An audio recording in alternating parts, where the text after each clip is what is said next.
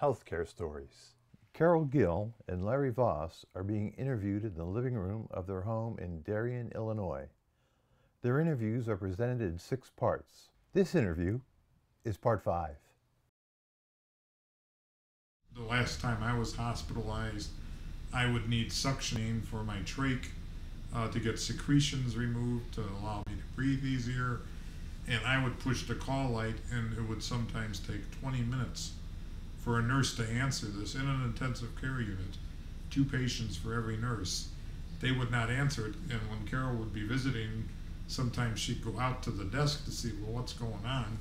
And she'd say the nurses were sitting there writing notes with their backs to the alarm, not even looking at it. The only thing I can think is they, was such a pressure on them to finish this paperwork that they didn't have time to respond to what could have been, you know, a much more urgent matter. As his spouse, I have seen this happen in several intensive care units, in several hospitals now, and also on floors of hospitals outside the intensive care unit. In all of these places, I've just, for me, it's almost been like a marker of how bad things have gotten. I sit there sometimes and I actually look at the clock from the moment he rings his bell to the time that someone comes and checks on him. And it the average is 5 to 20 minutes. Not seconds. 5 to 20 minutes. It's been as long as a half hour. And I'm talking about facilities that know he is a trach user. He's on, he's connected to his ventilator. The balloon in his trach is inflated, meaning he is in a, you know, physically vulnerable situation where he has to get the secretion suction for him to have a clear airway. And that is the response time. If he had a clog, push this call light, and the response was five minutes, which is the best it's pretty much been, he would be dead if he were not breathing. Now you might say, well, and, and I've been told this, well, the monitors would show he's not breathing. I mean, the ventilator would alarm, and the oximetry, which measures oxygen in his blood, would show a dip in oxygen, and that alarm would go off as well. Well, I can tell you that I have been there in that situation.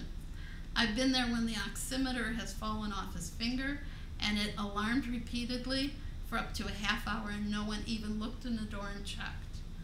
I have been there when his ventilator alarmed and because it had um, low pressure, which is the same alarm it makes if it's disconnected, and it has alarmed for 20 minutes without anyone checking.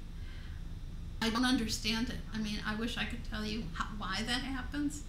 I can only tell you that it's happened in two of the best teaching hospitals in this country. That if you say the name of these hospitals to any doctor across this country, they would say, oh, yeah, premier place. But it happens all the time in those two places. How can response time to a call light in intensive care by a person who is connected to a ventilator, how can that be five to 20 minutes? What have we come to? And I mean, it's gotten to the point where I'm ba- based on past experiences. When I do get into that setting, I tell the nurses, I'm not going to push my call light for a glass of water or to change the TV channel. I'm, I'm pushing my call light. It means I've got a problem, and it could very likely mean I need suctioning, and it doesn't make any difference. It might make a difference with one nurse, but it's not the type of thing that gets given to the next nurse on the next shift. It's not given in report where they talk about, well, this patient is this, needs this, and this. Because I check and I and it's like every time the shift changes, I have to try and make it clear again. I might need suctioning. If I do, I'm going to push the alarm. Please come because I'm not pushing it for minor issues or matters, and it seems to make no difference.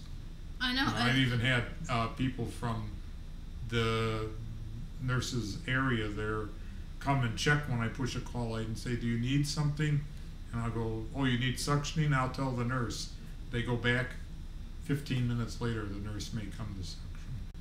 So, and I've had experiences where I could, my airway was clogged and I could not breathe. It was impossible for me to breathe. And so, you know, this could be a, a serious situation. Oh, Larry has had crises like that. He had a few of them in a rehab hospital. The difference is the rehab hospitals understand disability so much better. They know how serious it is when an airway clogs. You would think an acute hospital would know that too, but they just can't seem to get it, at least in our experience. Here's the difference in the rehab hospital, when Larry's alarm went off on his, on his vent, I think the average response time was 10 to 15 seconds. And anybody on the floor who was a health professional would stop, run to the room, and make sure he was okay, including the secretary of the nurses' station. She would get up and run just to make sure it, it was okay. Mm-hmm. And that was like being in heaven. You know, we could actually take exhale and and relax. But anytime he goes to an acute hospital, I dread it. We we will almost do anything to keep him at home. We delay it and delay it Right. because he's in danger. And try to get out of there as soon as possible. Yeah. And it's, it's mind-boggling. Carol and I both have been, you know, in the disability community and, and advocating, you know, for ourselves as well as others for, you know, a long time. And we frequently say, well, if we go into these situations and face these problems and try to confront them and change things, and we have very little success, you know, I think pity the poor person who goes in there as a newly disabled person or as an elderly person with a disability that they acquired late in life and they're going in there with their family and the nurses and doctors are saying, oh, he's in good hands, she's in good hands, you have nothing to worry about, they'll get the best treatment. You know, and those that family goes home trusting that this is the situation and, and you know, it very likely won't be that situation. So I think for people with disabilities, you know, uh, the hospitals can be a very dangerous place. I'm glad that this project is letting us sort of sound some alarms because we're not exaggerating. Things are bottoming out um, in a really serious way. Healthcare Stories.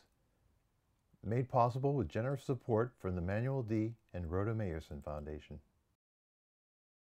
Carol Gill and Larry Voss were interviewed at their home in Darien, Illinois, July 2011.